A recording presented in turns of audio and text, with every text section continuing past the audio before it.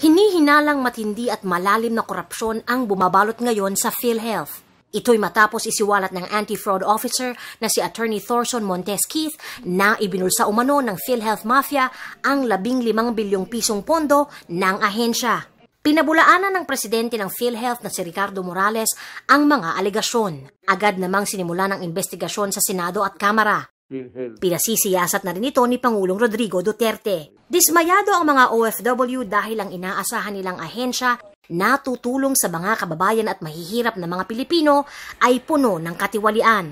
Panawagan ng mga OFW sa Milan, huwag nang dumagdag sa problema ng mahihirap ngayong pandemya ang pagiging makasarili ng ilang kapwa Pilipino at itigil na ang korupsyon.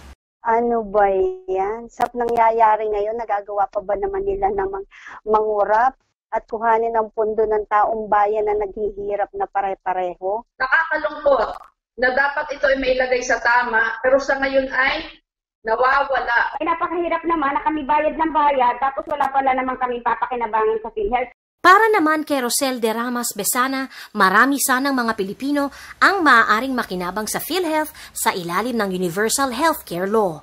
Pero dahil sa anomalya sa loob ng government-owned insurance agency, ay maapektuhan ang napakaraming miyembro nito, lalo na ang mga mahihirap. Sa gitna ng nararanasang pandemya ng Pilipinas, may ganitong sitwasyon ng korupsyon sa hanay ng kawani ng PhilHealth. Totoong nakaka-help po ang PhilHealth, lalo na sa ngayong panahon ng pandemya, dahil nakakabawas po ito ng bayarin sa ospital.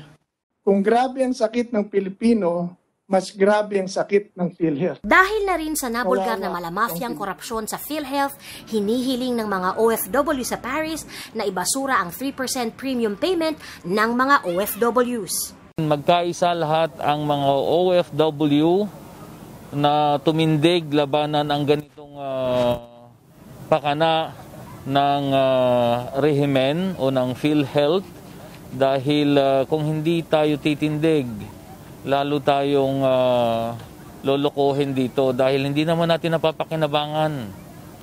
Itong pandemic nga, hindi, hindi tayo nakareceive ng tulong mula sa PhilHealth Sigaw naman ng isang OFW sa Paris sa kasalukuyang talakayan tungkol sa PhilHealth sa Senado, scrap mandatory suspension from Paris. PhilHealth gising! Isa-isa namang sinagot ni PhilHealth Senior Manager for Corporate Communication ang mga aligasyon ng katiwalian sa programang Kabayani Talks ng TFC noong Sabado. yung 15 billion, ano po?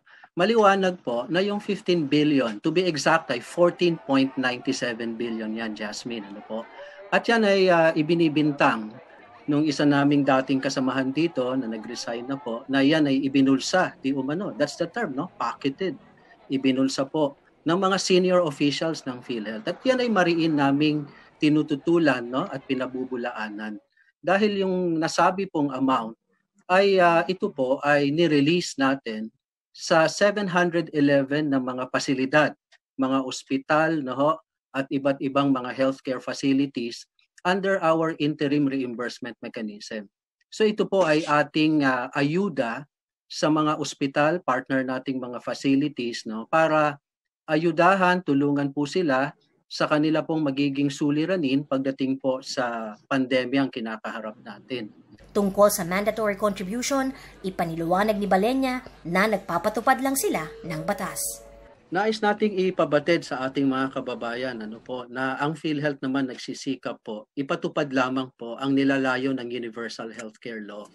At ah, kung sa pagpapatupad nito ay ah, magkakaroon ng mga suliranin ay nariyan po ang Kongreso, nariyan po ang ah, ating Pangulo para po ah, magbigay ng guidance sa PhilHealth. At ito nga no, ah, ah, sa ngayon ay ah, dininig naman ang ah, panawagan ng hanay ng mga kababayan nating OFWs. Sa ngayon, voluntary yan. In fact, sabi ni ma'am kanina, ay ah, ang hiling sana nila ay ah, hanggang December sana. In fact, nais kong ipabatid na ang pahayag ng ating ah, President and CEO sa bagay na yan ay hanggang matapos po ang pandemya ay ah, sa bahagi ng PhilHealth, nani, ah, kami ay ah, voluntary po ang treatment namin dyan. Sa kanyang naging public address nitong lunes, August 10, nagbabala si Pangulong Rodrigo Duterte na mananagot ang mga opisyal na sangkot sa katiwalian sa PhilHealth. itong PhilHealth, sabi ko, yayariin ko kayo lahat. Maniwala kayo. Pero yung ng- ngayon ito, nakalusot kayo sa ibang maybe presidente ano. O dito sa akin, sad-sad talaga kayo. Maniwala.